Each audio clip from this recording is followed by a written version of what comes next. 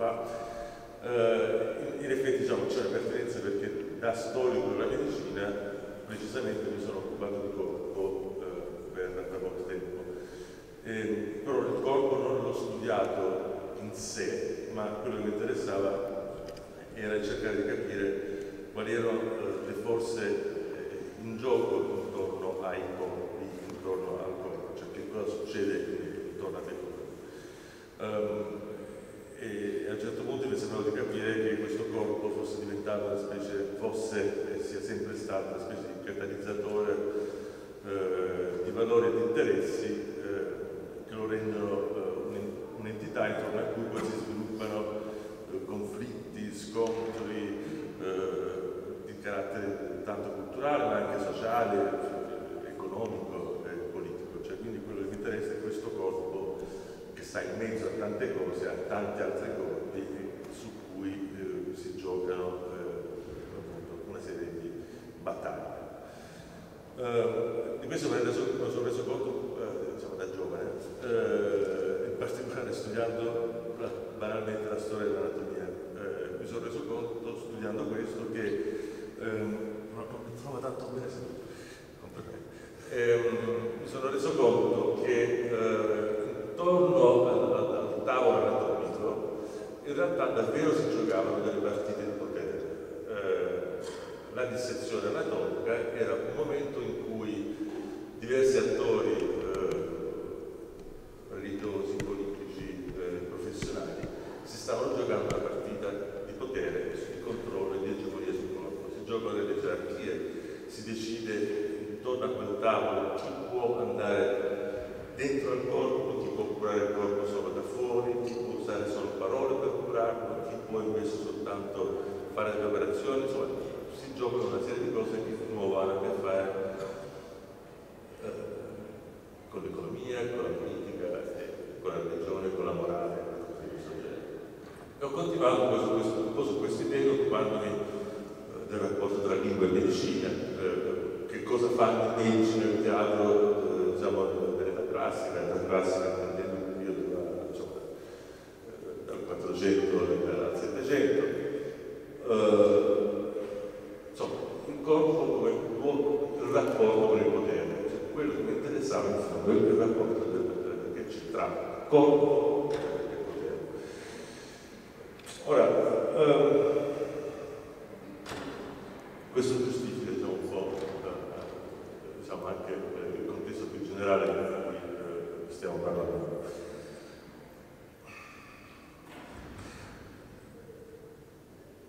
Su questo rapporto tra corpo e potere eh, come ho detto un po' mi ha, mi ha, mi ha perseguitato, mi è sembrato che emergesse una questione eh, eh, capitale, cioè eh, lì dove eh, la questione del potere si poneva sul corpo e nella definizione dello statuto di questo corpo, che il corpo è un oggetto o un soggetto, cioè c'è un soggetto corpo e un oggetto corpo potremmo dire c'è un corpo con la storia e un corpo senza storia. No? Il corpo soggetto ha la storia, il corpo oggetto non ha storia, la storia è, è annullata. E essendo uno storico della medicina, eh, diciamo, il corpo oggetto è esattamente quello a cui tende tutta la tradizione medica, se vogliamo. No? Diciamo, il sogno eh, della medicina, l'utopia della medicina e arrivare al corpo oggetto unico. Dall'altra parte si trova di fronte dei pazienti che incarnano soggettivamente questi corpi e si trovano quindi in una posizione un po' come eh, si in una posizione di tensione rispetto a quello che la medicina potrebbe fare. Una tensione fondamentale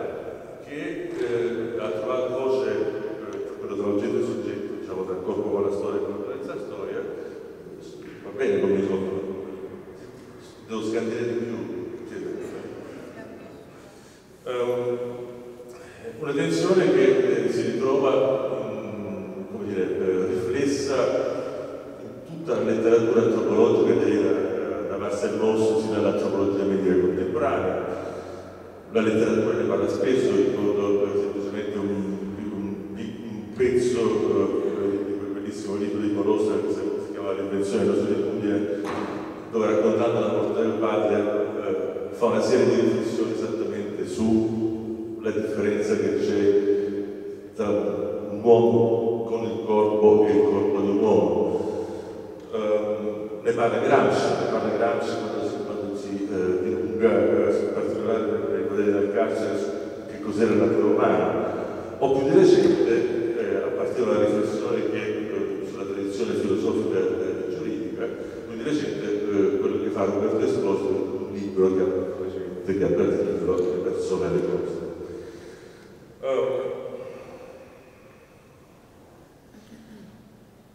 Ora, proprio di questa uh, tensione, questa tensione del corpo-oggetto, corpo-soggetto, vorrei parlare uh, rivedendo un po' uh, a quello che abbiamo visto, tanto nel video quanto nella coreografia dell'esame. E lo farei soffermandomi su due, spero di più del tempo, elementi che hanno generato la sua creazione e il suo progetto sui gesti da tessitura delle memorie spezzate. Due elementi, primo quello del tarantismo, con cui, insomma, su cui ci siamo proprio incontrati, e un altro eh, quello di Alzheimer. Entrambi i fenomeni mi sembra che abbiano eh, molto a che fare proprio con la questione dell'oggettivare il corpo oppure di conservare il soggetto. Um, il terzo video di Will, visto, quindi è stato registrato l'estate scorsa a Martana, campagna di Martano, la conversazione tra me e Luigi Triati. Luigi Triati è uno studioso di tradizioni popolari salentine autodidatta, come eh, ama definirsi. Um, la questione di Luigi era che c'entra il tarantismo con quello che uh, Alexandre uh, sta facendo. Forse ne vedremo a capo tra qualche minuto. Che cos'è il tarantismo? Immagino che tutti sappiate che cos'è il tarantismo, però forse è bene che eh, dica eh, due parole. Il tarantismo è un fenomeno eh, curioso che eh, succede. allora, tutto quello che dico è falso, d'accordo? Diciamo, vi do la versione semplificata di una cosa che mille volte devo saper semplificare, devo dire una serie di cose. Allora, la prima bugia è che è un fenomeno tipico e unico del Salento. Quanti, meno male, associano il tarantismo al Salento. Sappiamo che in fondo non è vero. C'è anche al Salento. Uh, è un fenomeno di lunga durata, questo è vero. Per quello che sappiamo, per quello che io so da storico, posso uh, datare sulla base dei documenti primo caso di tarantismo documentato 1362, l'ultimo caso di tarantismo documentato maggio del 2000. Uh, 1362 è un medico uh, che scrive un piccolo trattato sui veleni raccontando, dedicato al, Papa, e questo trattato sui veleni dà una descrizione del caso. L'ultimo caso di tarantismo, quello del 2000, è raccontato in un'intervista fatta da un amico, compianto amico Sergio Torzello, ad un musicista ma un musicoterapeuta, quale musicoterapeuta gli racconta che l'ultima persona che lui ha curato è stata andata da un medico di un paese che non riusciva a curare questa persona, glielo manda 2000 Quindi il fenomeno del recuperato. L'altro elemento è, che mi sembra interessante, è che è un fenomeno dove ci sono eh, interpretazioni in conflitto per secoli, eh, fino ad oggi. Uh, che cos'è il tarantismo? Uh, vi mostrerò secondo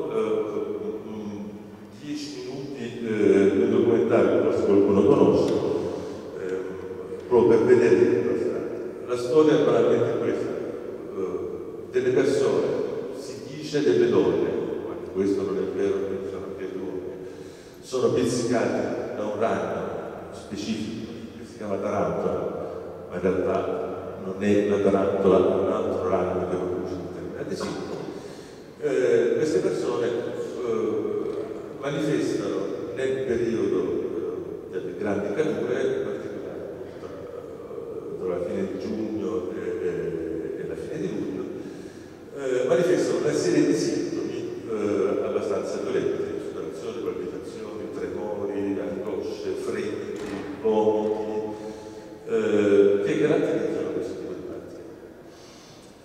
L'unica alternativa